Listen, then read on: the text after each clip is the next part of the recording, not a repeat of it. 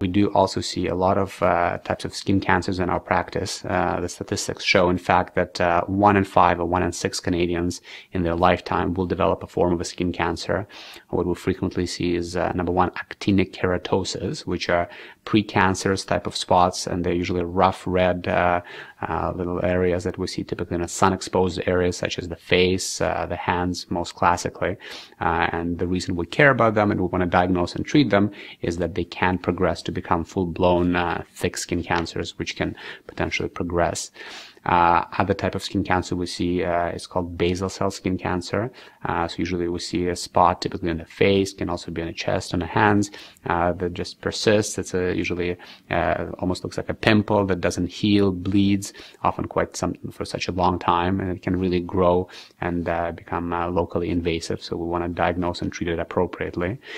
we also do see a lot of forms of skin cancer called squamous cell carcinoma, and the actinic keratosis lesion is, is a precursor to the squamous cell carcinoma.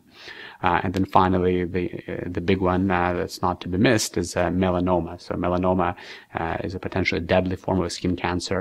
Uh, and when we counsel patients about melanoma, we often talk about moles and the A, B, C, D, E's of melanoma. So asymmetric moles are more concerning for melanoma, and should pay more attention to them.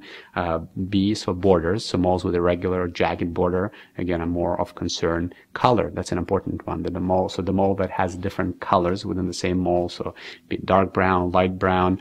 Uh, again, it's more of a feature of concern within a mole.